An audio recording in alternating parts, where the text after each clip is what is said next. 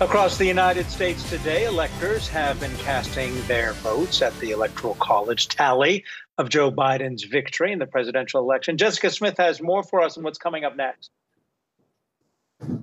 Yeah, Adam, we are getting ready to hear from President elect Biden later this evening. And we did just get um, some of what he is going to say, some of his planned comments for this evening. He does say delivering immediate economic help so badly needed by so many Americans who are hurting today, and then building our economy back better than ever. So, again, encouraging Congress to act and get relief to Americans and right now, as we speak, there is a bipartisan group of lawmakers who are unveiling two pieces of legislation. This is that group that was trying to get that $908 billion compromise proposal together.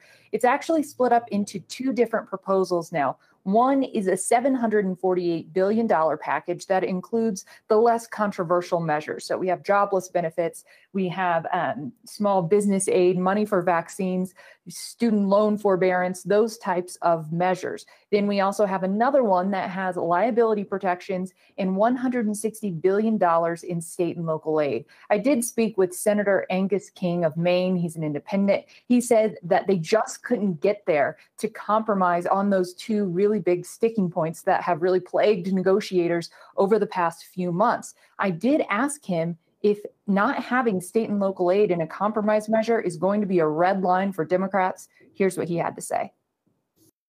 It's certainly something everyone want. Eh, I certainly want. It's been one of my strongest areas, but I'm not going to vote against a plan that will send three quarters of, of a trillion dollars to the American people at a time when they really need it because it doesn't have something that I also want. So I hope that's the response. I think uh, uh, I, I think we, we have to move forward and do the best we can. Now, this compromise proposal does not have another round of stimulus checks in it. I did ask Senator King about that, and he said that they had a cap with how much money they were going to spend on this, and stimulus checks just did not fit. He said this was a triage that they were trying to get money to businesses who were failing, people who are unemployed, and they didn't have room for stimulus checks. Now, this does go on to congressional leaders, and they'll decide what to do with it. He did tell me that there's a possibility the leadership could decide to add in another round of stimulus checks, but as it stands right now, the package does not have them. Adam.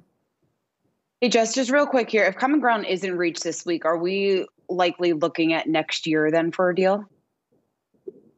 Well, if they are able to agree on this $748 billion package, that would be something that they could get done this week or at least before January, potentially. We have to see what the leadership says about this proposal, what they want to do with it. Um, but then, yes, lawmakers are saying that most likely, no matter what, they're going to have to do more next year.